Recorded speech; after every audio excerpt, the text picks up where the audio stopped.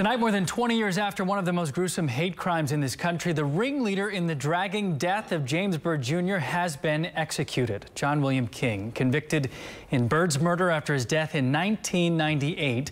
Our Sophia Beausoleil was in Huntsville for the execution of John William King and tells us what happened.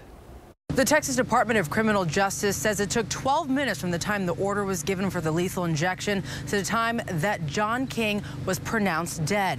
The family of James Byrd Jr. says tonight justice was served. James Byrd Jr. would have been 70 this year, but his life was cut short 21 years ago in a brutal hate crime. Today, we witnessed the peaceful and dignified execution of John King for the savage, brutal, an inhumane murder of James on June 7, 1998 really a modern day lynching. James Byrd Jr. was chained to the back of a pickup truck and dragged for three miles along a road in Jasper, Texas.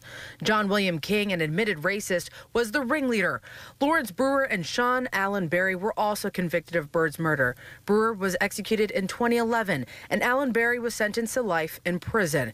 The state of Texas executed King Wednesday in Huntsville. He was pronounced dead at 7:08 p.m. And before the lethal injection, the warden asked if he had a final statement. He didn't say much. This evening, he responded simply with the words no, did not open his eyes at any point during the process, took one deep breath, one exhale, and that was the extent. But the state says King did leave a written statement which said capital punishment them without the capital get the punishment. Two sisters and a niece of James Byrd watched the execution. His older sister says she felt nothing, but is happy that this part is over. No remorse was shown then.